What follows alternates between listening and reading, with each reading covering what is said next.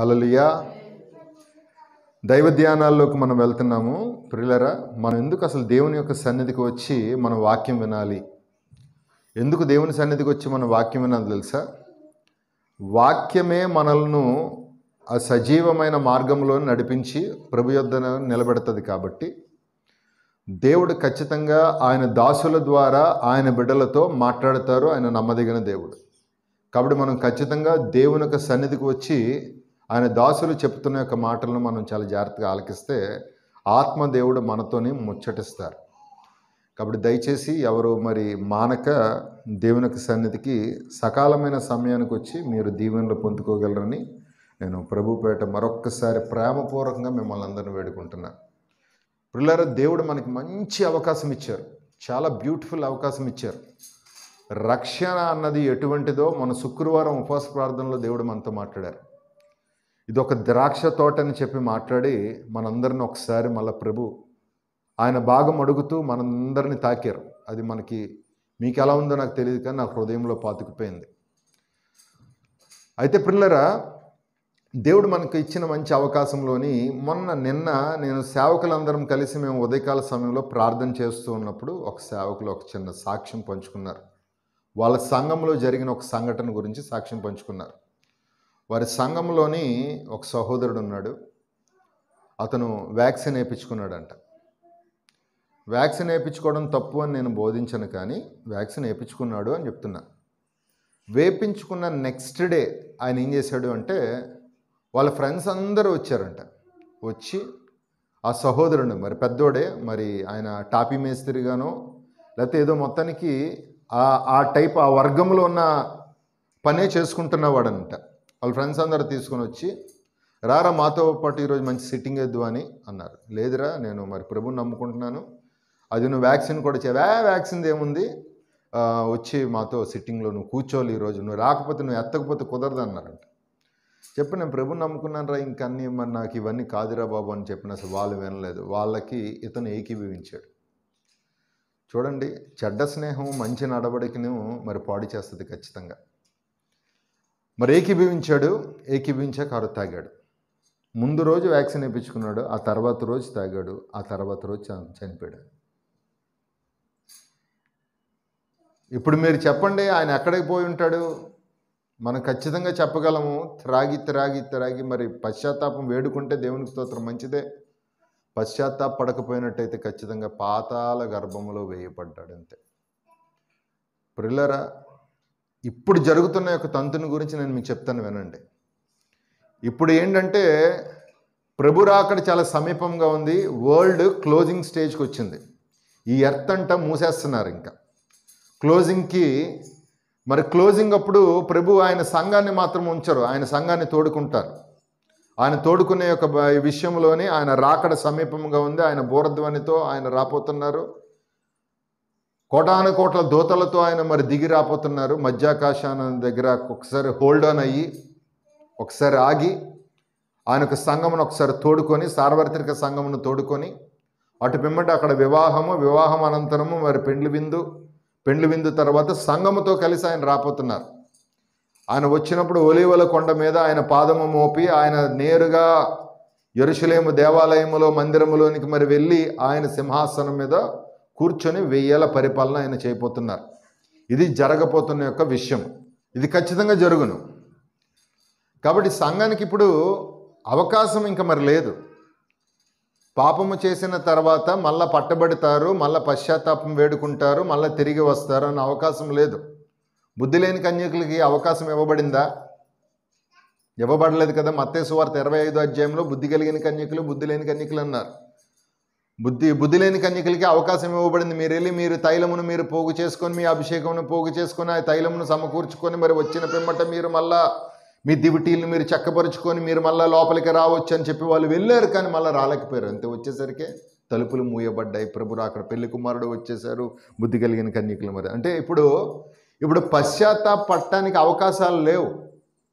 కాబట్టి ఉన్నవారు ఉన్న సైతము దయచేసి మీరు దేవుని యొక్క మందిరంలో సంఘాల్లో మరి ఉండిపోయి సన్నిధిలో ఉండిపోయి దేవుని వేడుకొని ఇంకా మనం ప్యాకప్ అవడానికి మనం సిద్ధపడాలి. ఇదే వాస్తవమైన విషయం. కావాల్సి చూడండి. ఇరవై ఇరవై తర్వాత ఏమన్నా వేవ్ ఆగిందా? ఆగలే. ఆగలేదు. వేవ్స్ వస్తూనే ఉన్నాయి వస్తూనే ఉన్నాయి. ఈ వేవులన్నీ పెరిగిపోతే ఏమవుతుందో తెలుసా? ఆర్థిక సంక్షోభం రాపోతుంది కానీ ఆర్థిక సంక్షోభం రాపోతుందని చెప్పి మీరు దయచేసి మీరు బాధపడద్దు. బైబిల్ చెప్తుంది మిమ్మల్ని కాకోలం ద్వారా పోషించు దేవుడనై ఉన్నాను అన్నారు. అంటే మనం చింతపడ మనం సేఫ్ సైడ్లోకి వచ్చేసాం. సేఫ్ సైడ్ ఏంటి? ఏసైని నమ్ముకోవటం. యేసుక్రీస్తు ప్రభు వారిని నిజరక్షకుడిగా అంగీకరించడమే సేఫ్ జోన్లోని మనం వచ్చాం. మరి సేఫ్ జోన్లోని నువ్వు నేను ఈ విశ్వాసములో స్థిరంగా నిలిచి ఉండవలను. ఐ మీన్ స్థిరముగా మనం నిలిచి ఉండవలనని చెప్పి నేను ప్రభు పట్టు వేడుకుంటున్నాను. కాబట్టి దయతోని ప్రియాతి ప్రియమైన దేవుని యొక్క సంగమా తొంభై ఒకటో కీర్తనలోని మన ఏడు ఆశీర్వాదంలో మూడు ఆశీర్వాదాలు మనం పలికాం. మనం చెప్పుకున్నాం. ఏం చెప్పుకున్నాం? అతడు నాకు మొరపెట్టగా నేను అతనికి ఉత్తరం ఇచ్చేదను అన్నమాట మనం చెప్పుకున్నాం. దాన్ని ఒక ప్రియురాలుతో నేను మేము మీకు పోల్చాను. ఒక ప్రియురాలు ప్రియుడికి ఉత్తరం రాసిన తర్వాత నిరీక్షించి నిరీక్షించి నిరీక్షించి కళ్ళు కాయలు కాసేలాగా మరి ఏడ్చి కన్నీళ్ళు పెట్టుకొని ఆ ఉత్తరం యొక్క జవాబు వచ్చిన తర్వాత పిమ్మట తను చాలా ఆనందించను అన్నమాట మనం చెప్పుకున్నాం కదా? దేవుడు మనకి ఉత్తరం ఇచ్చేవాడు అంటున్నారు. ఎక్కువగా దావీదు మొరపెట్టుకునేవాడు. ప్రభువునే అడగకుండా దావీదు ఏ పని చేసేటవాడు కాదు. తన ఆత్మీయ జీవితంలోని అది బాగా అలవాటు చేసుకున్నాడు. ఎంత భయంకరమైన ఉపద్రవం వచ్చినను ఎంత కష్ట నష్టములు వచ్చినను ఎన్ని శ్రమలు వచ్చినను ఎంత భయంకరమైన శత్రువు తన మీద దాడి చేద్దామని ప్రయత్నం చేస్తున్నప్పుడు తన నిర్ణయం అంతా దేవుని దగ్గర నుంచే తోడుకునేవాడు. ఉత్తరమును పొందుకునేవాడు. ఒకచాట జిక్ సిక్లాగు అని చెప్పి ఒక ప్రాంతానికి మరి వచ్చి శత్రువులందరూ వచ్చి మరి వారందరూ వాళ్ళ యొక్క భార్యలను పిల్లలను అందరూ తీసుకొని వెళ్ళిపోగా మొత్తం అంతా బూడిద చేయగా మరి ఆహుతి పాలైపోయిన తర్వాత మీరు ఏం చేయాలో మరి తెలియక వారందరూ అంట దావీదు మీద తిరుగుబాటు చేసి చంపేద్దామని ప్రయత్నం చేస్తున్నప్పుడు దావీదు ఏం చేశాడు సార్ మోకాళ్ళేసి ప్రార్థన చేశాడు. ఎఫోదు ధరించి మోకాళ్ళేసి ప్రార్థన చేసి ప్రభువా అని చెప్పి దేవునికి మొరపెట్టాడు. దేవుడు ఉత్తరం ఇచ్చారు. ఏమని ఉత్తరం ఇచ్చాను నేను నీకు తోడై ఉంటాను నువ్వు వెళ్ళన్నారు ఎవరి మీదకి వెళ్ళమన్నారు తెలుసా దేవుడే? ప్రభు చెప్పారు దగ్గర దగ్గర రెండు లక్షల లక్ష రెండు లక్షల మంది జనాభా మీద మీ ఆరు వందల మంది వెళ్ళమన్నారు. అది ఎలా సాధ్యమంటారో చెప్పండి. అది నువ్వు వాళ్ళ భార్యలను పిల్లలను తీసుకొని వెళ్ళిపోతున్న వారి మీద ఆరు వందల మంది మీద మరి ప్రభు వెళ్ళమన్నప్పుడు అసలు ఎందుకు అడిగాడు? అడగడానికి గల కారణం ఏంటంటే ప్రభా నీవు నాకు తోడుంటావా? నువ్వు నాకు తోడుంటేనే మేము విజయం సాధిస్తాం. దేవుడు తోడు లేకపోతే మనం ఏం చేయలేము? విజయం సాధించలేము ప్రభు చేశారు కార్యము అద్భుత రీత్యా మొత్తం ఆ యొక్క అమాలయకుల్ని మొత్తం అంతం పరిచి వాళ్ళందరినీ లయపరిచి చక్కగా వాళ్ళ భార్యలను పిల్లలను తోడుకొని వచ్చారు. ప్రిల్లరా మన ఆత్మీయ జీవితంలో ఇది ఒక మంచి ఆశీర్వాదం. ఆమె చక్కని ఆశీర్వాదం. అదేంటంటే మనము మొరపెట్టగా దేవుడు ఉత్తరం ఇచ్చుట. ఇది ఎప్పుడు బ్రేక్ అవ్వకూడదు. ఆ సత్సంబంధము మనకి దేవునికి మధ్య ఉన్న ఈ సంబంధం ఎప్పుడు తెగదింపులు అవ్వకూడదు. ఆయన ఎప్పుడు మాట్లాడారంటే నువ్వు లోకానుసారంగా ఎప్పుడన్నా దేనితో అన్నా మరి మీరు మీరు సంబంధం పెట్టుకున్నట్టయితే ఆయన మాట్లాడరు. నేను ఒక చెల్లెలు ఫోన్ చేసి చెప్తుంది అయ్యా మరి నాకు ప్రార్థన రావటం లేదు ప్రార్థన చేయలేకపోతున్నాను ప్రార్థన చేస్తున్నాను కానీ లోపల ఏంటంటే నాకు సాటిస్ఫాక్షన్ లేదు అని చెప్పి ఒక చెల్లెమ్మ చెప్తుంది. సాటిస్ఫాక్షన్ లేదు నాకు ఏం చేయాలి నాకు అర్థం అవ్వట్లేదు ఏదో అడత తడప ఏదో ప్రార్థన చేస్తాను ఇంతకుముందు మోకాలేసి ప్రార్థన చేసినప్పుడు కన్నీళ్ళు వచ్చేవి. హృదయంలోని మంచి నెమ్మది కలిగేది సమాధానం కలిగేది. కానీ ఇప్పుడు ఆ సాటిస్ఫాక్షన్ లేదు. ఎప్పుడన్నా మీరు అది అది మీరు చవి చూసారా? అలాంటి పరిస్థితి. దేవునితో కనెక్ట్ అయిన ప్రార్థన కనెక్ట్ అవ్వని ప్రార్థన అని చెప్పి రెండు ఉన్నాయి అయితే పిల్లరా ఆ యొక్క పరిస్థితి తన ఆత్మీయంగా పోరాడుతున్న యొక్క విషయము తను పంచుకోవడం వల్ల నేను చెప్పాను. ఏమని చెప్పానంటే అమ్మ నువ్వు ప్రార్థన చేస్తున్నావు కానీ దేవుని నుంచి జవాబు రావట్లేదు దేవుని యొక్క నడిపింపు రావట్లేదు కాబట్టి నేను నీతో ఒక మాట నేను అడుగుతున్నాను. ఎక్కడన్నా లోకపరంగా ఏదన్నా బంధకంలో నువ్వు ఉన్నావా? లోకపరమైన ద్వారం ఏమైనా తెరిచావా? ఒకసారి నువ్వే చూసుకో అన్నమాట అడిగాను అడిగితే తను చెప్పింది ఏమీ లేదండి అన్నది. సీరియల్ సినిమాలు లేవండి అన్నది. నిజమే తను చూడదు. ఫోన్లో ఇంకేమన్నా మరి ఫేస్బుక్ యూట్యూబ్ అన్నాను. అది కూడా లేదండి. ఏదో ఉండుంటుంది చూడమ్మా అంటే ఇన్స్టాగ్రామ్ ఉందండి అన్నది. ఇన్స్టాగ్రామ్ ఉంది అందులో మాత్రం పోస్టులు మాత్రం తెగ చూస్తుంటారు నాకు తెలిసి ఇన్స్టాగ్రాము దానికి ఎంత డెప్త్ ఉందో నాకు తెలియదు నేను దాని జోలికి ఎప్పుడు వెళ్ళలేదు కాబట్టి. అందులో కూడా మరి పోస్టింగ్లు భయంకరంగా ఉంటాయి కదమ్మా? ఉంటాయి. కాబట్టి ప్రియులరా అది ఒక్కటి నువ్వు మానేసేయమ్మా అన్నమాట చెప్పి దాంతో ప్రార్థన చేశాను. దేవుని స్తోత్రం కలుగును గాక. మళ్ళా ప్రార్థన ఆత్మ స్టార్ట్ అయింది.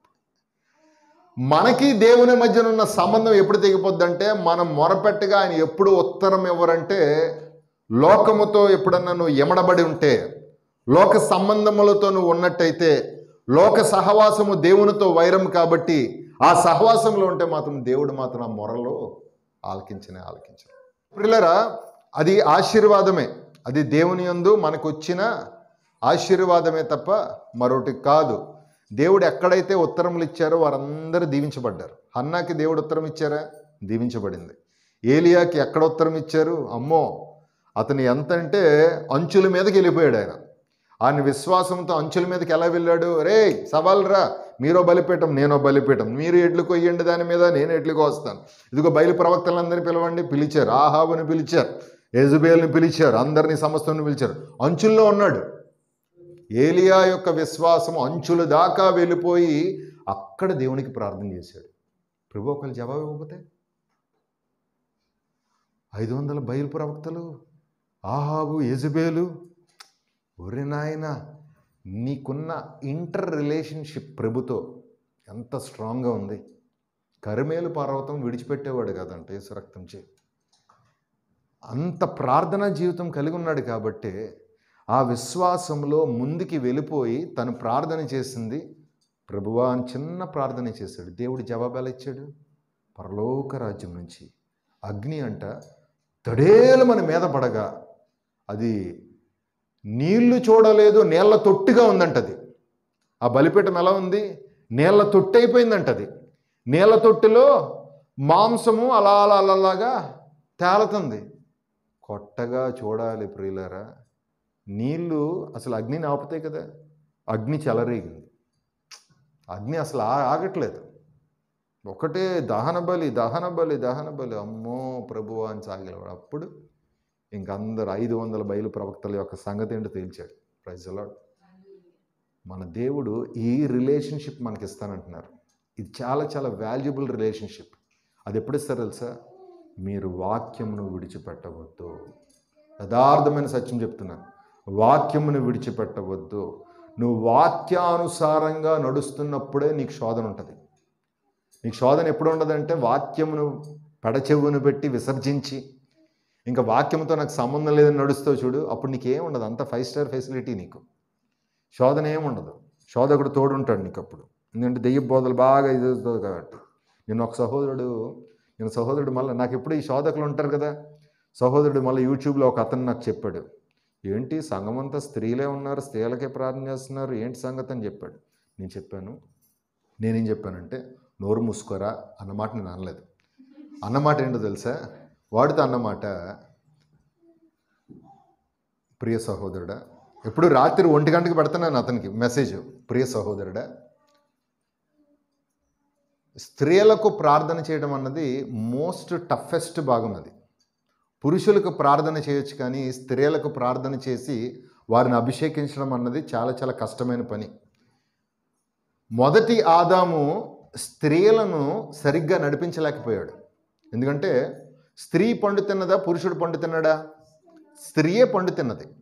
స్త్రీ పండు తిని పురుషుని తప్పింప చేసింది. కానీ కడపటి ఆదాము ఏం చేశాడంటే స్త్రీని దారిలో పెడుతున్నాడు. ఆ పరిచర్య దేవుడు నాకు ఇచ్చారు. అది నేను చేస్తున్నాను నాన్న అని అడిగాను అంతే. ప్రిల్లరా మన వాక్యానుసారంగా నడుస్తూ ఉన్నప్పుడు శోధకులు అనేక మంది మన మీద పడి పడతారు. దేవుడు మనకు తోడే ఉంటారు. నువ్వు చేసిన ప్రార్థనలన్నిటికీ ఆయన ఉత్తరం ఇస్తారు. ఎప్పుడు తెలుసా? నువ్వు వాక్యమును వాక్యమునుగా ఉంచి నువ్వు దాన్ని నెరవేర్పులోకి తీసుకొని వెళ్తే నువ్వు క్రీస్తు సంబంధి ప్రైజ్ చెప్తున్నా ఇది ఇది ఆశీర్వాదమే అంటారా? కాదంటారా? మొరపెట్టగా? ఎక్కడన్నా మొరపెట్టగా దేవుడు ఉత్తరం ఇచ్చిన వారు ఎవరన్నా మీరు పరిశుద్ధ లేఖన గ్రంథంలో తీసుకోండి. మొరలకి ఉత్తరం వచ్చిన చోటల్లా దైవకార్యాలు జరిగాయి.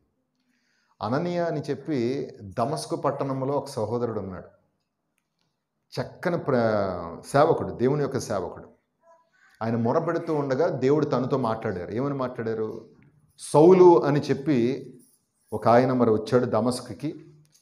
అతను మరి కళ్ళు మూసుకుపోయే పొరలు కమ్ముకుపోయే అతని దగ్గరికి వెళ్ళి నువ్వు చేతులుంచి ప్రార్థన చేయగా ఆ పొరలన్నీ మరి ఊడిపోయి కింద పడిపోతాయి. కళ్ళు పొందుకు దృష్టి పొందుకుంటాడు. ఆల్రెడీ నువ్వు వచ్చి ప్రార్థన చేస్తున్నట్టు దర్శనం కూడా తను చూశాడు అన్నారు. అంటే తిను ప్రార్థన చేయటము దేవుడు ఉత్తరం ఇవ్వటము దేవుడు జవాబు ఇవ్వటము ఎలా నడవాలని కూడా మరి చెప్పాడు. దమస్కలో ఉన్న అనన్య ద్వారా మరి మాట్లాడుతున్నారు. అనన్యతో దేవుడు మాట్లాడుతున్నారు. ఉత్తరం ఇచ్చిన చోట ఉత్తరం ఇచ్చిన చోట ఎలాంటి దైవ సేవకుడు లేచాడు? ఉత్తరం ఇచ్చిన చోట ఎలాంటి దైవ సేవకుడు లేచాడంటే పౌలు అన్న సేవకుడు మామూలు సేవకుడు కాదండి. యేసుక్రీస్తు ప్రభువారితో పోల్చబడినవాడు భక్తి వైఖరిలో పోల్చబడినవాడు అంత భక్తి చేసినవాడు మరి పౌలు గారు. అంటే దేవుడు ఎక్కడెక్కడైతే ఉత్తరములు ఇచ్చారో అక్కడ ఘనమైన విజయాలు మరి జరిగాయి. ఆ ఘనమైన విజయాలు ఎవరి ద్వారా జరిగాయి? ఉత్తరము పొందుకున్న వారిగా. కాబట్టి సంఘము ఎప్పుడు ఉత్తరము పొందుకుంటున్న సంఘముగా ఉండాలి. సంఘము మొరలు పెట్టడమే కాదు కానీ దేవుడి నుంచి ఉత్తరము పొందుకున్నట ఆ ఉత్తరములో అనేకమైన ఆశీర్వాదాలు మనం ఈ లోకానికి మనం చూపించాలి. ప్రైజలాడ్ ప్రియాతి ప్రేమైన వర్లారా దేవుడు చెప్తున్నారు మహోన్నతుని చోట నివసించి వాడికి ఇవన్నీ జరుగును. ఎవరా మహోన్నతుడు? యేసుక్రీస్తు చెప్పండి అంటే యేసుక్రీస్తు అంటే దేవుని యొక్క వాక్యం వాక్యమును నేను ఆధారము చేసుకుంటుని. వాక్యమును నాకు తోడుగా ఉంచుకుంటే దిగులు పడను భయపడను దిగులు పడను. ఆయన లేమిలు కొరతలే ఇవ్వరు ఆయన? జీవపు ఓట. ఆ ఓటను మనం నమ్ముకున్నాం. ఆయన మన ఏమి లేమి కొరతలు ఏమి చేయరు ఆయన. యేసూరు క్రీస్తు రక్తమే చేయ వాక్యమును ఎప్పుడైతే నువ్వు వర్ధిల్లింప చేస్తావో వాక్యానుసారంగా నువ్వు ఉంటావో దేవుడు శక్తిమంతుడైన దేవుడు నీకు తోడుగా ఉండి నువ్వు పెట్టిన ప్రతి మొరకు దేవుడు ఉత్తరం ఇచ్చునుగాక ఐ మీన్ ప్రైజులో ప్రతి మొరకు దేవుడు ఉత్తరం ఇచ్చునుగాక ఉత్తరము పొందుకున్నావంటే ఘనమైన ఆశీర్వాదము నీవు నేను చూచితిమి. ఉత్తరము పొందుకున్న ఏదన్నా చూపించండి. ఇదిగో బైబిల్ గ్రంథం పెట్టా మీ ముందు. ఉత్తరము పొందుకున్న చోట ఘనమైన ఆశీర్వాదం ఉందంటారా లేదంటారా? మొరపెట్టిన వారందరూ ఒక్కొక్కటి ఒక్కొక్కటి ఒక్కొక్కటి ఒకటి తీసుకోండి. అన్నీ తీసుకోండి. మొరపెట్టిన చోట ఉత్తరం పొందుకున్న చోట ఆశీర్వాదం. ప్రభువా వీరికి తినుటకు ఆహారము లేదయ్యా ఈ అరణ్యములో. నేను మన్నానిచ్చేదను ఉత్తరం వచ్చింది. ప్రభువా మాంసపు ఆహారము తినక వీరు ఎన్నో రోజులైందని వీరు చెప్తున్నారు. నేను పూరెళ్ళ పంపించేదను. ఉత్తరం. చెప్పండి ఇది. ప్రభువా ఎర్ర సముద్రం అయ్యా దొరికిపోయామయ్యా. ఉత్తరం. తూర్పు గాలి వచ్చి రెండు పాయలుగా చీల్చేసింది. ఉత్తరం. ప్రభువా ఫారో. ఫారో వాళ్ళ కొరకు మాత్రం మొత్తం అటు ఇటు అలలు మొత్తం వేసి క్లోజ్ చేస్తారు అంటే ఈ ఈ ద్వారం ఎవరికి? ఈ అంటే రెండు పాయలుగా చీల్చింది ఎవరికి? సంఘానికి. లోకానికి కాదు. దేవుడు ఉత్తరం ఇచ్చారుగా. ప్రభా సింహాల బోన్లో ఉండి దేవునికి మొర మొరపెడుతూ ఉన్నాడు దాని ఉత్తరం ఇచ్చారు. మొత్తం నోరులని మూపించేశాడు దేశ రక్తం చేయం ఉత్తరం అంటేనే సమ మంచి ఆశీర్వాదం. మరి ఇంత మంచి దైవీకమైన ఆశీర్వాదం మీరు ఎందుకు చెడగొట్టుకుంటున్నారు? ఒక్క మాట మర్చిపోద్దు. మన పౌరస్థితి ఎక్కడుందో తెలుసా? పరలోక రాజ్యంలో దాగబడింది. అక్కడికి వెళ్ళిన తర్వాతే అస్సలు సిస్సలైన నిజమైన ప్రార్థన. రాత్రి ప్రార్థన చేస్తున్నా. దేవుని సన్నిధిలో రాత్రంతా ప్రార్థన చేయడం దేవుడు కృపనిచ్చారు. ఈ చిన్న వాల్టర్ కొరకు ప్రార్థన చేస్తున్నా. ఒక భయంకరమైన ఒక విషయం నేను విన్నాను. ప్రభు చెప్తున్న మాట. నాన్న నిన్నొక్క ప్రశ్న అడుగుతున్నాను నువ్వు చెప్పు నాన్న అన్నారు. ప్రభు అది చెప్పండి ప్రభు ప్రభుతో మాట్లాడుతున్నాను ఎంత బాగుందో చాలా బ్యూటిఫుల్గా ఉంది. ప్రభు చెప్తున్నారు. నాన్న సొదామ గుమరావు ప్రజలు ఎక్కడున్నారంటావు అన్నారు. ప్రభు నేరుగా పాతాళంలో ఉన్నారు ప్రభు పాతాళ అగ్నిలో కాలిపోతున్నారు ప్రభు ఎప్పటి నుంచి ఉన్నారు? అన్నారు. ఇప్పుడు నుంచి దగ్గర దగ్గర మరి చూసుకుంటే మూడు వేల సంవత్సరాల క్రితము అగ్నిగంధకాలు మరి సోదామ గుమ్మర పట్టణాల మీద పడగా వారందరూ బూడిదైపోయి బూడిదపాలైపోయి అన్ని ఆత్మలు కోల్పోయే ప్రభు ఒకే రోజు పాతాళానికి వెళ్ళిన యొక్క సంఖ్య మరి చూసుకుంటే వేల కొద్ది లక్షల కొద్ది మరి మరి ఉన్నారు. అయితే అప్పుడు నుంచి ఇప్పుడు దాకా ఉన్నాయి ఆ ఆత్మలు నరకములో? ఉన్నాయి ప్రభువా. అయితే వారు అలాంటి తీర్పు ఎంత కాలంలో పొందుకున్నారు ఎంత కొంతకాలంలో పొందుకున్నారంటే ఒకరు ఇరవై సంవత్సరాలు ఒకరు ముప్పై సంవత్సరాలు ఒకరు నలభై ఒకరు యాభై అరవై మహా అయితే డెబ్బై అంతే. ఆ దినాల్లో మరి అబ్రహాం అక్కడ ఉన్నాడు కాబట్టి అబ్రహాం మరి నూరో సంవత్సరానికి మరి బిడ్డను కన్నాడు కాబట్టి ఒక నూరు సంవత్సరాలు అనుకుందాం. అంటే ఒక నూరు సంవత్సరాల యొక్క కాల వ్యవధిలో నిత్య తీర్పును వాళ్ళు పొందుకున్నారు. తాత్కాలికమైన జీవితంలో నిత్య తీర్పును వారు పొందుకున్నారు. ఎలాంటి నిత్య తీర్పు అంటే ఎప్పటికీ అగ్నిలోనే ఇంక బయటికి రాలేరు forever ever and ever Sodom Gomorrah పట్టణాలు అక్కడే ఉండిపోయారు ఆ ప్రజలందరూ. ఈ తాత్కాలికమైన భౌతికమైన జీవితంలో నిత్య తీర్పు వెళ్ళడానిక? నువ్వు ఈ జీవితాన్ని జీవిస్తున్నావు? కాదు కదా క్రీస్తు యేసు మనం తెలుసుకొని ఆ యొక్క నిత్యత్వంలోనికి మనం ప్రవేశించుటకు మన పౌరస్థితి అయినా అక్కడికి వెళ్ళడానికి వీటన్నిటినీ మనం జయించాలి. వీటినన్నిటినీ జయించుటకు మనకి మంచి ఎక్స్ట్రాడినరీ పర్సన్ ఇచ్చారు. ఆయన ఎవరు తెలుసా? పరిశుద్ధాత్ముడు. ఆయన ఆదరణకర్త అయిన మనకి ప్రార్థనలో తోడుంటారు నడిచే విషయంలో తోడుంటారు నీతి జీవితంలో తోడుంటారు. అన్యాయ మార్గంలో వెళ్ళకుండా మనం సరి చేస్తూ ఉంటారు. పవిత్రమైన జీవితం జీవించడానికి ఆయన మనకు సహకారంగా ఉంటారు. నిట్టూర్పులు ఆయన మనం విడవడానికి ఆయన మన తోడుంటారు. ఏం మొర పెట్టాలి ఇప్పుడు అన్న విషయం చెప్పడానికి ఆయన మన తోడుంటారు? ఇవన్నీ ఎందుకు చేస్తున్నారు పరిశుద్ధాత్మ దేవుడు? గల కారణం ఒకటే. నీ పౌరస్థితి పైనుంది. ఇక్కడ ఇక్కడ లేదు. ఇక్కడ తాత్కాలికం యాభై అరవై డెబ్బై ఎనభై అంతే అయిపోయింది. క్లోజ్. వెళ్ళిపోవాలి. నిత్యత్వంలోనికి వెళ్ళిపోవాలి. అది నరకమా పాతాళమా లేకపోతే పరలోక రాజ్యమా? జ్ఞాపకం చేసుకోండి. ప్రిల్లరా నువ్వు పెడితే మొర ఉత్తరం రావాలంతే అలాంటి ఆత్మీయ స్థితిలో మనం ఉండాలి. మీరు అనుకుంటున్నారు మీ మీద నా మీద కూడా దాడులు ఉంటాయి తెలుసా? మోకాలు వేసినప్పుడు విపరీతమైన దాడులు నా మీద చేస్తూనే ఉంటాయి. నా మీద ఏ దాడులు చేస్తాయో నాకు తెలుసు. ఆ దాడులు మా మీద నా మీద వచ్చినప్పుడు నేను వాటి గురించి అలా పోరాడుతూనే ఉంటాను. ప్రార్థన చేస్తూ ఉంటాం పోరాడుతూ ఉంటాం పోరాడుతూ ఉంటాం పోరాడుతూ ఉంటాం పోరాడుతూ ఉంటాం పోరాడుతూ ఉంటాం పోరాడుతూ పోరాడుతూ పోరాడుతూ ఒక్కానొక సమయానికి టక్మని నిలబడిపోతాం. ఇంకా ప్రభు నడిపించేస్తారు.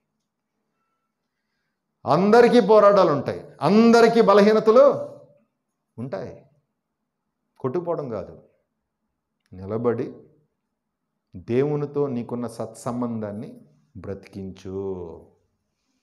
బ్రతికించడం వల్ల నువ్వు మొరపెడితే ఆ నీకు ఉత్తరం ఇచ్చును. ఆ ఉత్తరములో నీకు నీ కుటుంబానికి ఆశీర్వాదము. ప్రైజలో అలలుయ సంఘానికి ఆశీర్వాదం. మన పరిచర్కి ఆశీర్వాదం. అప్పుడు ఈ సంఘం ఎలా ఉంటుంది? ఇక్కడ అంతటి మధ్యలో ఈ చీకట లోకం మధ్యన ఇది వెలుగు సంబంధికమైన సంఘంగా ఉంటుంది. కాబట్టి దయచేసి ఈ ఆశీర్వాదం మాత్రం ఎవ్వరూ కాలతనుకోవద్దని చెప్పి నేను ప్రభు పెట్టి పెట్టుకుంటున్నాను కేవలం ఈ ఆశీర్వాదం గురించి అరగంట మాట్లాడని దేవుడు కృపనిచ్చారు. లేచి నిలబడదాం. ఒకసారి మోకాళ్ళు వేసి అప్పుడు నిలబడదాం. చిన్న ప్రార్థన చేసుకుందాం.